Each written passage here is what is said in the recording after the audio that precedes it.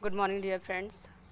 Uh, so uh, because of your uh, so many questions I decided to make a video for you.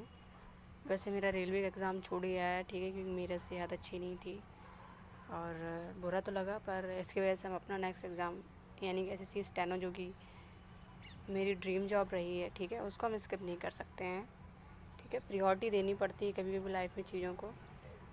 चलिए, कुछ लोगों का ये doubt था कि डॉक्यूमेंट क्या क्या ले जाने हैं, ठीक है? इस वीडियो में दो तीन डाउट क्लियर करेंगे।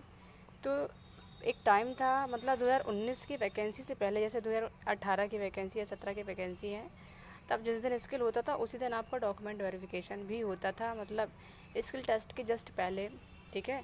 डॉक्यूमेंट वेरिफिकेशन होता था, इसके बाद जिनका जिनका वेरिफिकेशन होता था उस दिन, फिर उनका स्किल टेस्ट होता था। लेकिन अब थोड़ा सा गाइडलाइन चेंज हो गई हैं। आप अपने एडमिट कार्ड में भी देखना, आज एडमिट कार्ड आ गए हैं। उसमें ऐसा कुछ नहीं लिखा है, क्योंकि अब डॉक्यूमेंट वेरिफिकेशन आपका स्किल के साथ नहीं होता है। अच्छा भी है, वरना उसी दिन डॉक्यूमेंट वेरिफिकेशन फिर स्किल टेस्ट स्किल टेस्ट होगा आपका, और जिन बच्चों ने स्किल टेस्ट क्वालिफाई किया होगा, उनके नेम ठीक है मतलब उनका जो रिज़ल्ट आएगा। इसके बाद, उसका रिज़ल्ट वैसे आता नहीं है सीधे सीधे ये आपको पता चल जाएगा कि आपको डॉक्यूमेंट वेरिफिकेशन होना है या फिर हम थोड़ा सा भूल रहे हैं। हाँ जो बच्चे सिलेक्ट होंगे स्किल टेस्ट में उन्हीं का डॉक्यूमेंट वेरिफिकेशन होगा, उसके लिए उनको अलग से बुलाया जाएगा डेट दी जाएगी। तो मतलब अभी जो स्किल टेस्ट आपको ट्वेंटी या ट्वेंटी वन जून को होना है, ठीक है तो स्किल टेस्ट के दिन डॉक्यूमेंट वेरिफिकेशन नहीं होता है तो आप कोई डॉक्यूमेंट मत ले जाइएगा। हाँ अपना आधार कार्ड, पैन कार्ड मतलब कभी कभी आधार कार्ड में फ़ोटो क्लियर नहीं होती, इसका, इस वजह से आप अपना पैन कार्ड भी ले जा सकते हैं। किसी का ड्राइविंग लाइसेंस भी होगा, अपनी फ़ोटो ले जाइए दो तीन, ठीक है? जिनकी एडमिट कार्ड में क्लियर फ़ोटो नहीं होती हैं, उनकी फ़ोटो मांगी जाती हैं वैसे नहीं मांगी जाती हैं, ठीक है? तो ये सारी चीज़ें आप अपने साथ रखिए।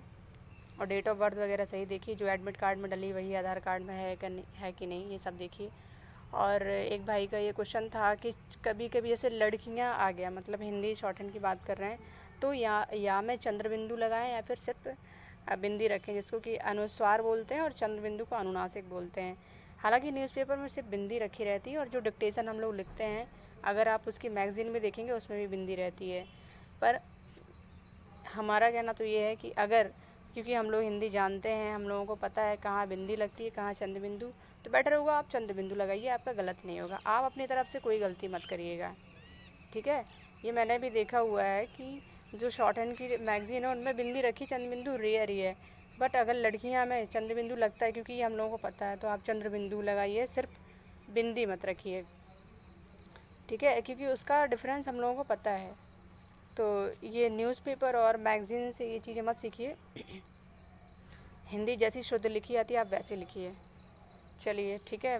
बाकी के डाउट्स अगर होंगे तो फिर वीडियो बनाएँगे। Okay thank you have a good day